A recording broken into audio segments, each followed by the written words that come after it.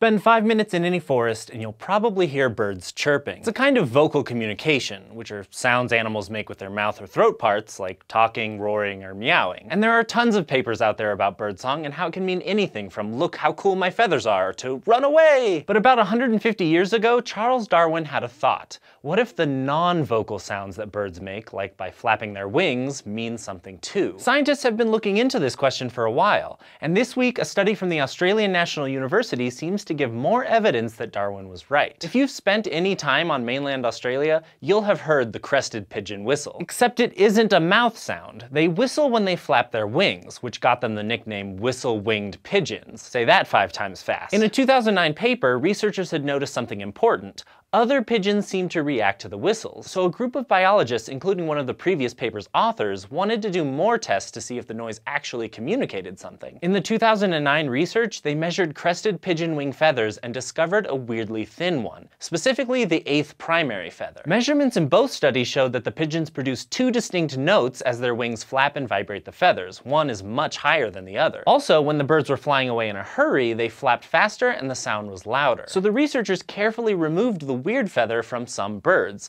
all in the name of science. But it's okay, they grow back. Without the narrow feather, the highest note disappeared, and wind tunnel experiments confirm that the feather makes the noise when it's vibrating on its own. Most importantly, the researchers compared the reaction of other crested pigeons to recordings of birds flying away with and without the special feather, and there was a clear difference. When the other birds heard the high-pitched sound, they were more likely to get out of there in a hurry, as if there were an alarm blaring. But if they heard the recordings without that alarm, they were more likely to stick around or take off more leisurely. This gives some solid evidence for Darwin's nonverbal communication idea, showing how the sound is produced and how other birds respond to it. And the researchers say it makes sense evolutionarily too. These pigeons are always going to make a sound if there's danger nearby, so more birds know to escape and stay alive. Unless a scientist comes along and takes away some of their feathers. But enough about birds, let's talk about humans. Because if you're a student, a parent, or really anyone, you've probably been sleep deprived before. You feel sluggish, like your mind is swimming through fog to make decisions, and everything just seems harder. And this week, researchers from UCLA took a deep look into the biology behind this feeling.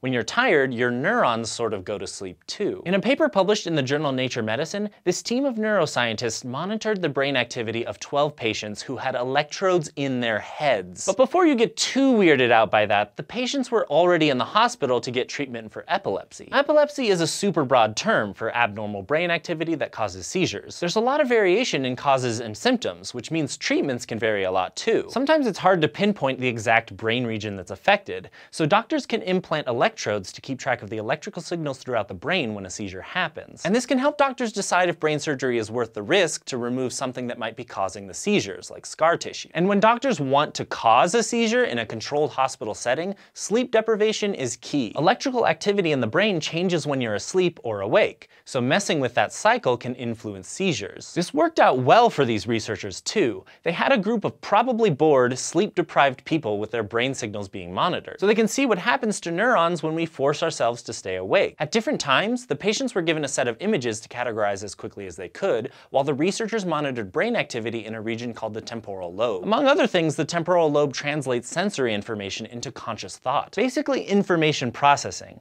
like like if I see a roundish red thing with a brown stem on top, my temporal lobe helps me recognize that it's an apple. The scientists noticed that the neurons in the temporal lobe actually fired more slowly and passed along weaker signals as the patients did this task after staying awake longer. The researchers also measured brainwaves, the repeating cycles of many neurons firing, and these brainwaves slowed down in certain regions too, so they kind of looked like the ones linked with sleep. We've known for a long time that sleep deprivation can mess with how you act, but this is the first study in humans that might explain what's going on biologically. The researchers say the effects of these basically sleeping neurons are similar to being drunk, which has huge implications for things like driving. Like it's gonna take longer for your brain to process an unexpected pedestrian on the road and react. So that's maybe something to think about next time you're watching Netflix until 3 a.m. Thanks for watching this episode of SciShow News, and thanks especially to all of our patrons on Patreon who make this show possible. If you want to help us keep making episodes like this, go to patreon.com slash scishow. And don't forget to go to youtube.com slash scishow and subscribe.